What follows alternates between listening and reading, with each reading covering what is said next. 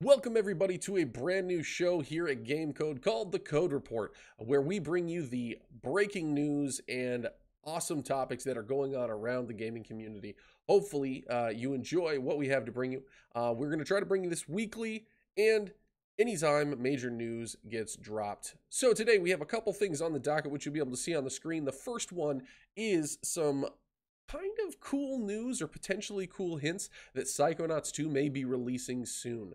And the reason we think this is a couple things that we've noticed uh, out in the community. First reason is they did drop on Game Pass Psychonauts 1, uh, made by the legendary Tim Schafer. And then also, we have noticed that Psychonauts 2 now has a deal with Game Informer to bring you exclusive preview coverage uh, that will be dropping throughout the next couple weeks. What that thing makes us think is that this is a lead up to E3 where they will drop the surprise announcement that it will be available for download after the show. Uh, we don't have any confirmation of that, obviously, yet, but every indication seems to be leading that it's going to be sooner rather than later. And I would expect, because of the Xbox drought in games, in brand new games, I would expect that they really want to get this one out to people, and it looks in a pretty final form based upon some of the footage that you're seeing as well. Next thing on the list is another Xbox exclusive um, that's also coming to PC as well, called The Ascent. Uh, and the reason why we're bringing this one up is because previews have started to drop. Uh, IGN recently covered this, as well as a couple other small uh, news news outlets covered this, and they have some really glowing things to say about this cyberpunk top-down shooter. Uh, things like Hunter the Reckoning is what they kind of tallied it back to, which is an old game from my past and that I really enjoyed as well. And uh, it just looks like it nails the aesthetic and vibe. So I'm keeping an a close eye on this one to see if it comes out as something that is really worthwhile to check out. Um, couple things to note is that they announced the release date, and the release date is July 29th. So that's not too far from now. About a couple months out, you're going to be able to get your hands on that one. It is included day and date on Game Pass as well as, as and so is Psychonauts 2. And if you're not as fan of the Game Pass, which I'm not sure why you wouldn't be, it's $30 if you only want to purchase it outright. So that's not too bad of a deal. I really appreciate when they can give you a little bit of a discount for something that may be an unknown quantity. So it's kind of cool. You should be able to get your feet wet regardless of whether or not you want to shell it for Game Pass or if you want to just pay for it up directly. Cool. Next thing on the list is Industry insider Jeff Grubb actually says that he has sources that tell him Starfield is an exclusive to Xbox. Now, this is no surprise.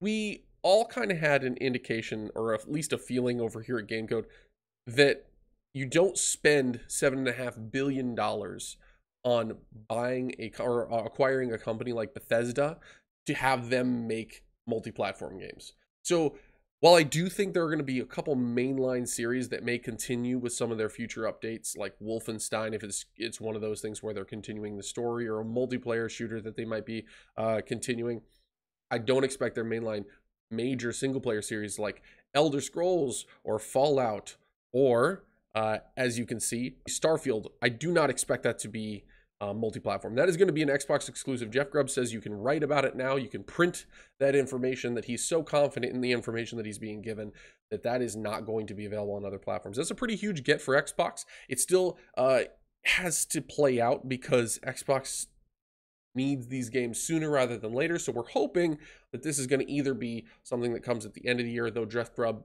thinks it's going to be sometime in 2022. So if that's in 2022, let's hope for the first half because that would be a really cool opportunity right after Infinite to dive into uh, a great game like potentially a great game like Starfield. Cool. That's enough Xbox news for now. Uh, we're going to switch gears over to PlayStation 5's next big game, and I gotta say, I cannot be more excited for this.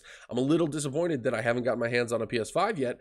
However, I will say, doesn't really matter. I'll find a way to play this game. Is one of those situations where sometimes when you see a game coming out that looks so good, you just have to find a way to play it. Ratchet and Clank looks like that game. So PlayStation 5 is getting an exclusive Ratchet and Clank game. Uh, that is going to absolutely blow us all away.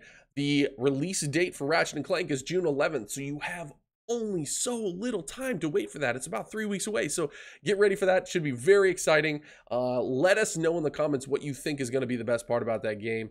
uh, and what has you hyped about that game as well. I, am really looking forward to this. So huge get for Sony. I think this is one of those things that's going to launch it into a good, strong rest of the year. We're really in a good time for gaming. There's a lot of games that are going to be coming down the pike, and it's going to be exciting to see.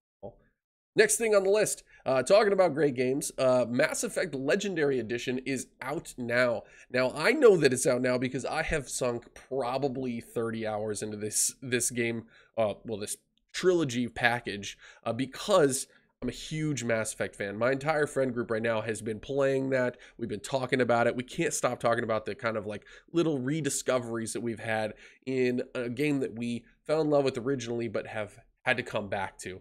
Now that I've finished Mass Effect 1 and I'm on, on a Mass Effect 2, I gotta say, it is completely, without a doubt, a fantastic purchase. The upgrades are completely worth it. It makes you feel like you're playing it kind of in a modern, with a modern coat of paint, and it's really cool. Mass Effect 1 got a huge upgrade. Highly recommend you check that one out. Hopefully you enjoy uh, the uh, the game as well, and let us know what your favorite part, or maybe actually let us know what your favorite character is from that series when you get a chance to get your hands on it.